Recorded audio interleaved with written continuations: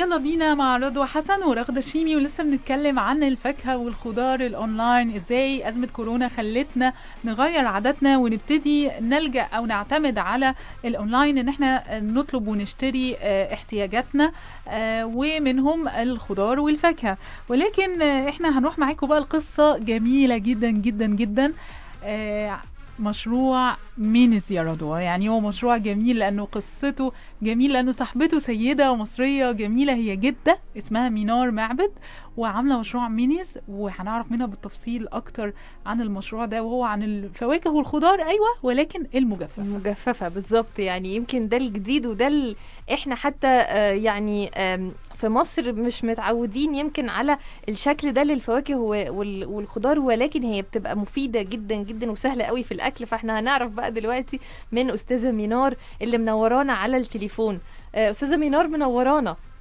أهلا يا رود رضوى. أهلا بيكي ازي حضرتك؟ كويسة؟ ازي حضرتك؟ عاملة إيه؟ الحمد لله. وإزيك يا رغدة؟ كويسة؟ زي الفل. الحمد لله. أنا بحب صفحتك جدا جدا. أنا جداً. بدخل على Minnie's و... وشفت إزاي كان في كورسز كمان بتعلمي الأطفال إن هم إزاي يعملوا الفواكه والخضار تبقى مجففة. ولكن للأسف في ظل أزمة كورونا الكورسز دي توقفت. لكن إن شاء الله ترجع تاني. آه إن شاء الله. عايزين إن شاء بقى الله. نعرف الفكرة بدأت إزاي معاكي وإمتى وخدتي قرار كده قلتي يلا بينا أنا هنفذ فكرة Minnie's هي فعلا يلا بينا فعلا. آه شوفي آه من حوالي عشر سنين كده كان حفيدي ابتدى يفهم إن هو يقدر ينزل الكشك ويشتري حاجات ياكلها يعني. فبيقول لي أنا عايزة أشتري حاجة معينة كده من الكشك. قلت له آه، طب تعالى ننزل مع بعض نشوف هي إيه. فروحنا وقلت له قبل ما نشتري الحاجة لازم نقرأ مكتوب عليها إيه ونفهم إذا كانت دي حاجات مفيدة ولا لأ. لقينا الحاجات ثلاث أرباعها إحنا مش فاهمين هي مكتوبة بتقول إيه. فقلت له لأ بلاش تعالى نعملها في البيت. فابتدت الفكرة من كده إن إحنا نعمل حاجات في البيت يقدر هو ياكلها كسناك يعني كحاجة آه، ازازه وقرمشة وياخدها سهلة، معاه المدرسة. فعلا. آه. سهلة. فابتدينا بالتفاح لأنه أسهل حاجة إن ممكن تجففيها في البيت التفاح. فجبنا التفاح وقشرناه وقطعناه وحطيناه في الفرن. عندنا شعلة في الفرن كده ضعيفة فممكن تجفف الحاجة ببطء وكل يوم كده نبص عليها لغاية ما لقينا إنه الملمس بتاعها والطعم بتاعها حلو قوي فطلعناها وأكلناها. ومن هنا ابتدت الحكاية. يعني أنا بقول له كل ده من تحت راسك يا حبيبي. وكبر دلوقتي بقى أكيد يعني بقى عنده كام سنة؟ دلوقتي عنده 19 سنة. شاء ممكن. يساعدك في المشروع بقى ويسوق لك ويعني المفروض. يكبر آه. المشروع.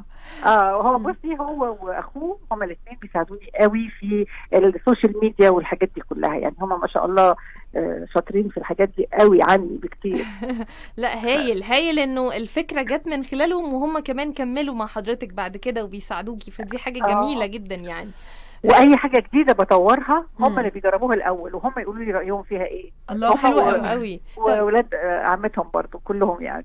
حلو جدا. طيب آه. إيه بقى الحاجات اللي حضرتك طورتيها تاني بقى بعد ال- التفاح؟ يعني اتجهتي لإيه من الفواكه وال- والخضار؟ شوفي إحنا في رمضان بناكل فاكهة مجففة اللي آه. بنسميها يميش رمضان. تمام. بس محدودة مش مش تمر قراصيا زبيب. فأنا فكرت إنه شفت بره يعني إن هم بيجففوا فاكهة من نوع تاني فقلت أنا هجفف كل الفاكهة اللي في مصر. فإحنا فعلا بنجفف كل حاجة بتنمو في مصر من التفاح للبطيخ. يعني إحنا دلوقتي آه، في موسم بطيخ عمالين نشتغل في البطيخ يجنن لأنه بيبقى زي زي الملبس بالظبط.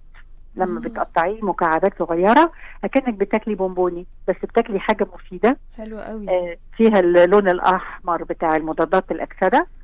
وسكرها طبيعي وأليافها طبيعية وكلها حاجة مفيدة جدا. عاوزة أتخيل معاكي إزاي بتجففي البطيخة؟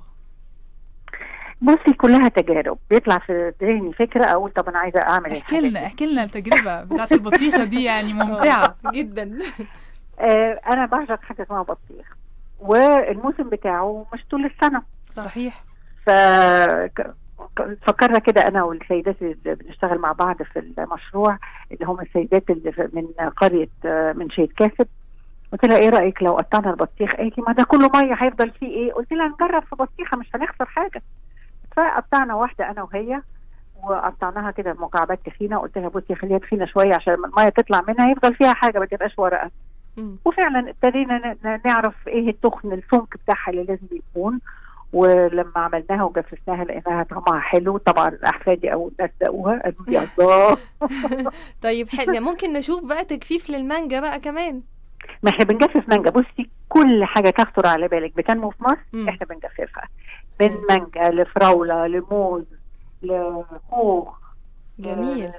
آه، كل حاجة. كل حتى. الخضار دلوقتي اللي ابتدى يطلع مم. في مصر آه، بنجففه بتشتغلوا فيه طب. وكمان ال- الشوربه سرعه التحضير اللي حضرتك أيوة. حريصة برضو تسوقي لها علشان دي ممكن الواحد وهو في الشركة بيشتغل أو في في البيت عايز ياكل حاجة بسرعة يقدر ياكل حاجة صحية ومفيدة بدل الحاجات المنتشرة اللي هي ممكن تكون بتضر الصحة بالظبط إحنا مش بس بنجفف فاكهة بنجفف خضار كمان وطبعا أعشاب والحبوب اللي إحنا بنجففها زي الكزبرة وال- والحاجات دي بتنمو عندنا مم. الخضار بقى ابتدينا نتجه له برضو لما حفيدي قال لي إنه عايز يشتري آه نوع من الشوربات اللي بتشترى في في العلب كده. وتحطي حاجات على بعضها قلت له لا بص بص إحنا هنعمل كل حاجة في بيتنا بنفسينا وفعلا. ابتدينا نعمل خلطة الخضار وندوق هو ده قريب اللي إحنا عايزينه لغاية ما لقينا النسب المعينة اللي عايزينها نحط الخضار آه، الكوسة والبصل والطماطم والكرفس والحاجات اللي بتخش في في الشوربة كلها ودي بقت من